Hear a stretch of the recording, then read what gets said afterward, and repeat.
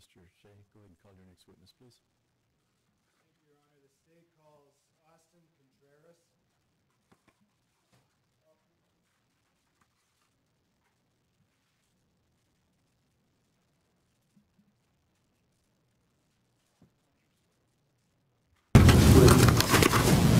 You solemnly swear or affirm under penalty of perjury, the testimony you're about to give will be the truth, the whole truth, and nothing but the truth, so help you God, or do you so affirm?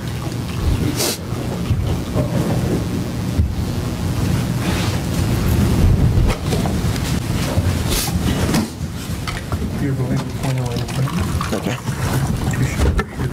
Yep. Cool.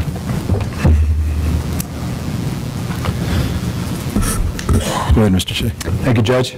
Good morning, sir. How are you? Could you please state your name and spell your last name for the record? Austin Contreras, C-O-N-T-R-E-R-A-S.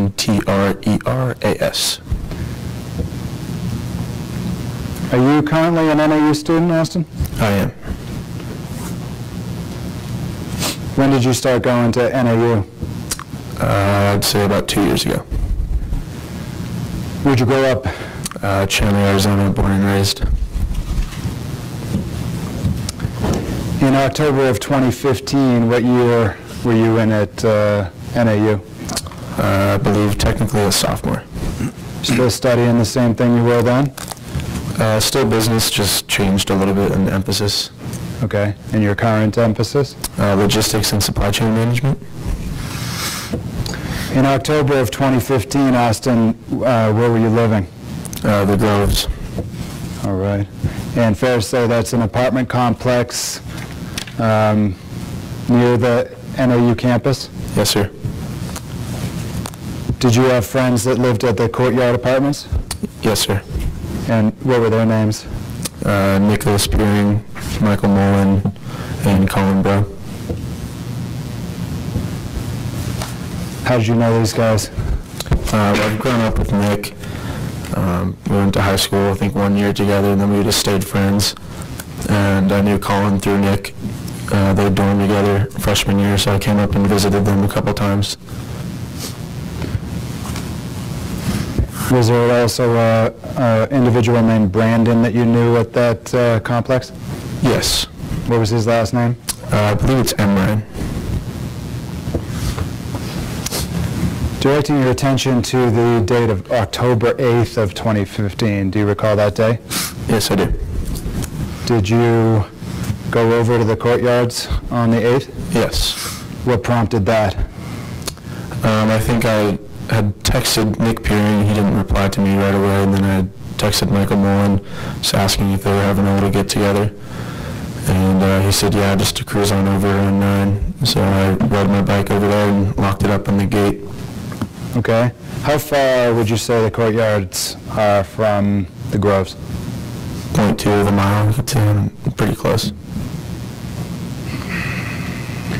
Did, uh, and so they were having a gathering over there? Yes, sir. And which, you're familiar with the courtyards, it's a, fair to say it's a group of apartments, right? Yes. And which apartment was the uh, gathering in? I'd say it was in Brandon's. I mean, if you're standing in the courtyard looking towards the mountain, I guess you could say it's the farthest on the right-hand side. Okay. The, um, all right. And who else lived with Brandon, do you recall? I'm, I don't know. Those guys, uh, some of those guys are in Greek life, is that correct? Yes, sir. Were you in Greek life? No, sir.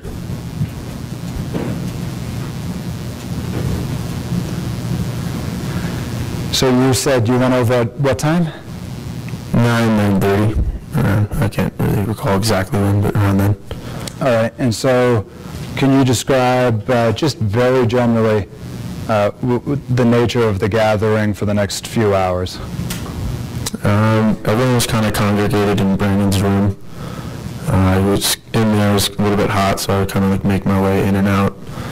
Um, I mean, I guess you could say it was like a decently sized party. It's not the biggest one I've seen there, that's for sure, but it was just, it looked like a bunch of just close friends just trying to have a party and drink. All right, so there was drinking happening? Of course. Were you aware of whether or not there were other social gatherings going on in the courtyards at that time? No. You weren't aware? I mean, sometimes at those parties, people like go in and out of like other people's rooms, but I'm not friends with them, so I'm really just limited to just going in wherever Nick's going. Did security stop by at any point that night that you were aware of? Uh, I believe so, yes. I think I heard something about it, but I didn't see any security, but I heard something about it. Okay. And do you know what that was about? Uh, I believe it was just noise. Was it a particularly loud party? I wouldn't think it was, but apparently to them, they thought it was. It was a Thursday night? I believe so.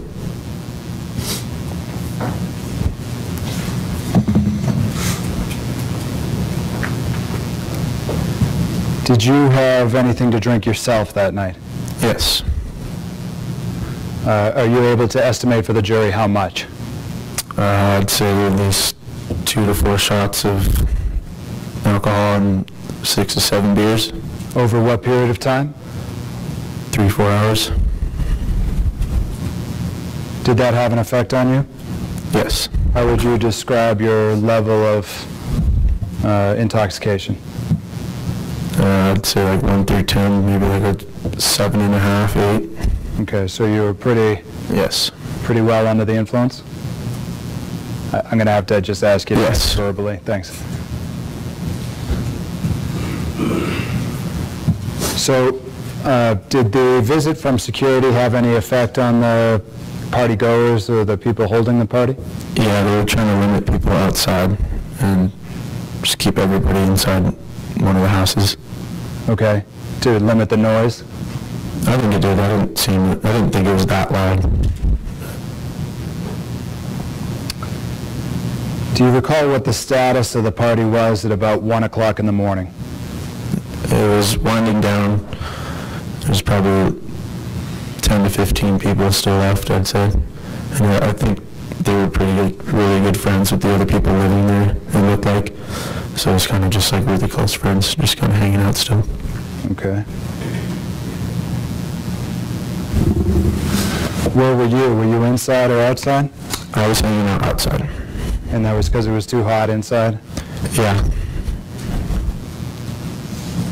Did uh, people you didn't recognize arrive in the courtyard in that approximate time frame?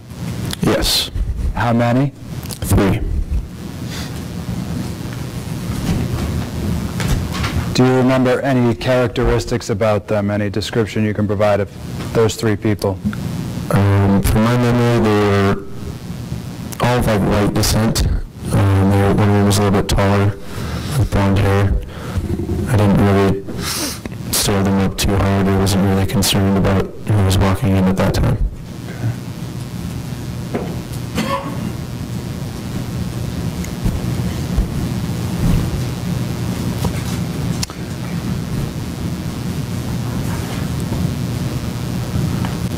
How tall are you, Austin? Uh, right now, close to 5'8", you can just say 5'7". Somewhere between 5'7", 5'8"? Yeah. Do you know what you weigh? Uh, 155 pounds. That's now. That's now. Do you know how much you weighed in, uh, on October 8th, October 9th of 2015, roughly? All around 120. So these guys that came into the courtroom, do you recall whether they were taller than you, your size? Taller than me. Was there any interaction between partygoers and those three individuals? Yes, sir. Can you describe that interaction? Uh, they pretty much asked him to leave. Uh, there was definitely some cussing involved. Um, get the F out of here, stuff like that. Were they asked uh, if they knew anybody at the party? Yes, sir. Did they indicate? I, I don't know. Were they originally asked nicely to leave? I believe the first time was nice, and then I think they started calling out like pledge references, like leave, pledge, stuff like that, get the F out of here, stuff like that. When you say pledge, what do you mean? like rushing a fraternity type thing. Do you remember any reference to any particular fraternity? No. Do you remember who amongst the partygoers was involved in asking those guys to leave the party? Uh, I believe Nick Piring and Colin. Um, yeah. Did the other guys respond immediately to that request to leave? Uh, I'd say so. They kind of just like moved their way slowly around the corner. Was there an argument? Yes, between both between both of them. You mean back and forth between both? Yes. So, all right.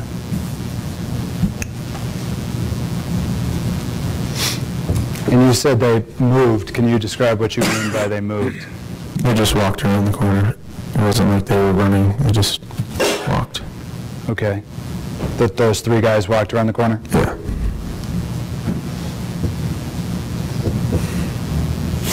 Remember what they were saying?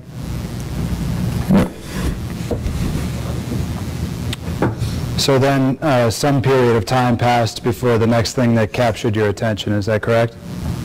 Yes. What was the next thing that captured your attention?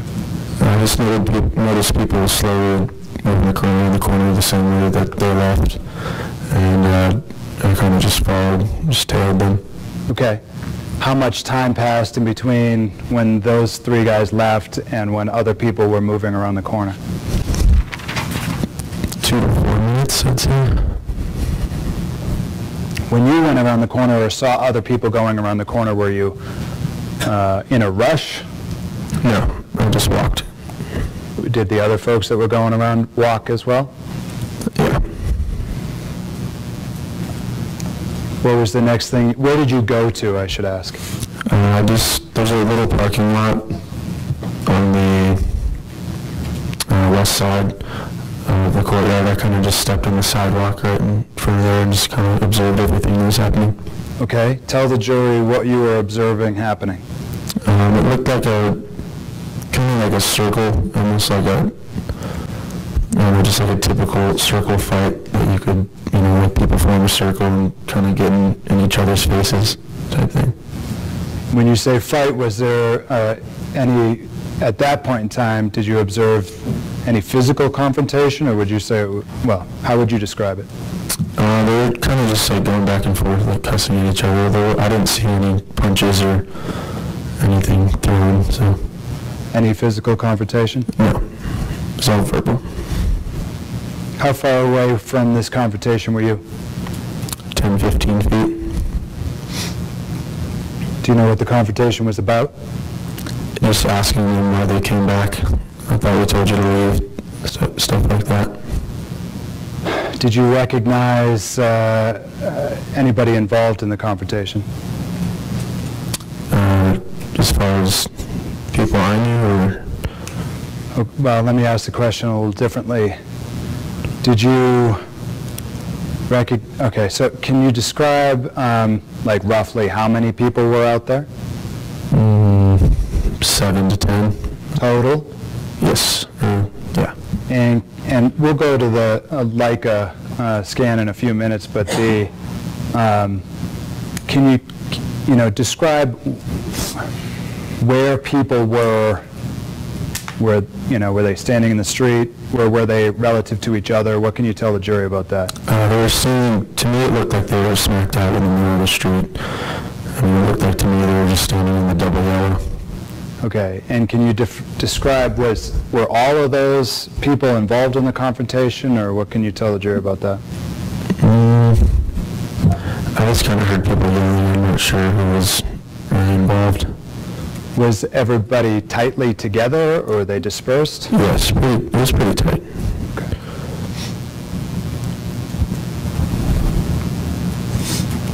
Did you recognize, uh,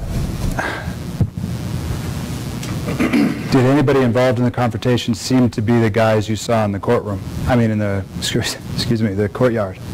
Uh, I would assume so, just because they were saying, like I said, I'd never seen these guys before, so I don't really know who they are. I just kind of was basing my observation on what was being said. All right, so you thought it was the same guys? Yes.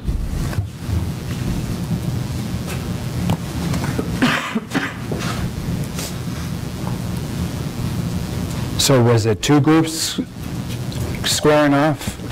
Describe that, whatever the confrontation was, to the best of your ability. Um, I guess they were kind of obviously cussing at each other. Why'd you come back?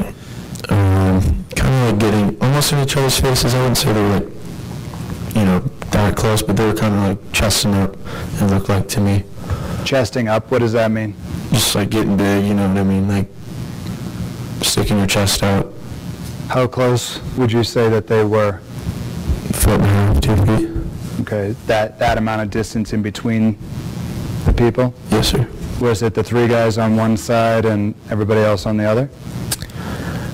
It, it almost seemed like it was a circle. I'm not sure if there was like people that they knew on one side or people that from the courtyard on the other. It kind of just looked like a big mass of people. I didn't really nitpick it. I didn't, I don't know, I wasn't really concerned. Um, So you were watching this go on.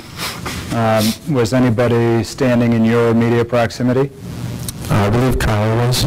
Who's Kyle. Go ahead. Uh, I used to work with Kyle. Um, he's, I know he's in the fraternity. I'm not really good friends with him, but I just kind of like acquaintances with him. Kyle Zientek, Yes, sir. he was standing next to you. Yes, sir. Were you guys chatting? Yes, sir.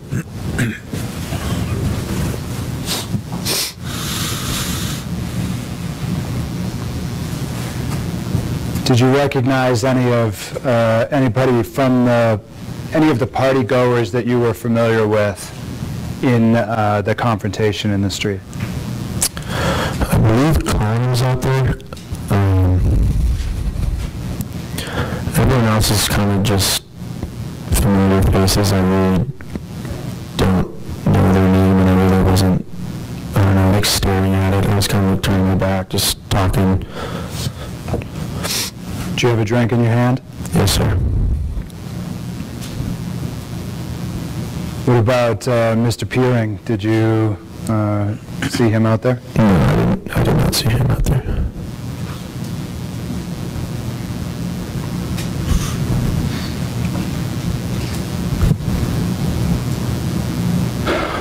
So you and Kyle were out there. Is that part of the 10?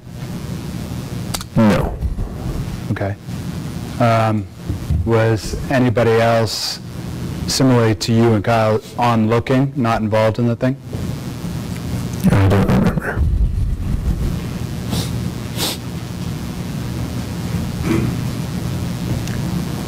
During uh, that confrontation, did you hear anybody say, "I'm going to kill you," or the word you- "kill" used? No. Did you hear any life-threatening statements? No. Did you see anybody during that confrontation with any weapons? No.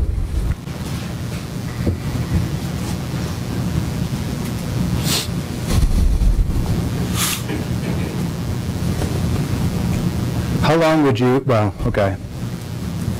And again, both groups were talking to each other, Yeah. curse words back and forth? Yes, sir.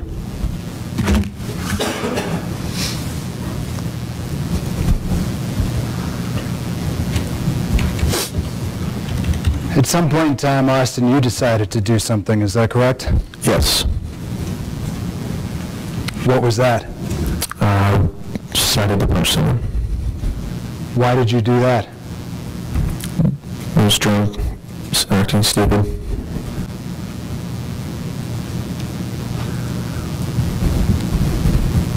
So what, you, you made that decision, and then what did you do? Uh, I took the swing. Um, everybody started kind of scattering in what it seemed like all directions. I kind of just turned my back and made my way back over to where I was standing next to the next to the uh, parking or next to the parking lot. Okay, so, correct me if I'm wrong, you were not in the circle in the street, is that right? No, I was not in the circle. So you made the decision to throw a punch.